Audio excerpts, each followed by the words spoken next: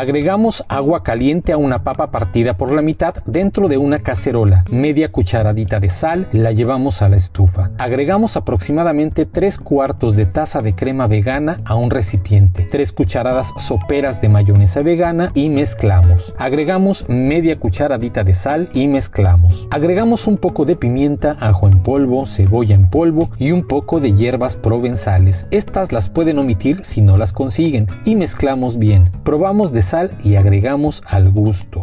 Mezclamos de nuevo para integrar. Le retiramos la piel a un apio, lo rebanamos a lo largo y ahora lo picamos en cuadritos pequeños y lo apartamos. A los 5 minutos de hervir la papa, agregamos una zanahoria sin piel y rebanada en partes como la ven y dejamos hervir por 15 minutos más. Partimos un aguacate por la mitad a lo largo, le retiramos la cáscara y ahuecamos un poco más para dar espacio al relleno. El sobrante lo agregamos a la mezcla que ya tenemos. Ya que los tenemos así, les agregamos un poco de jugo de limón para que no se oxiden rápido, untando bien por todos lados. Con un tenedor machacamos el sobrante del aguacate y mezclamos. Agregamos los chícharos que en este caso son congelados, dos minutos antes de apagar el fuego a las verduras. Pasados los dos minutos apagamos y retiramos en un plato para que enfríen un poco. Al enfriar retiramos la piel a la papa y la cortamos en cubitos pequeños. La zanahoria también la cortamos en pequeños cubos. Agregamos todo a la crema que hemos preparado, también el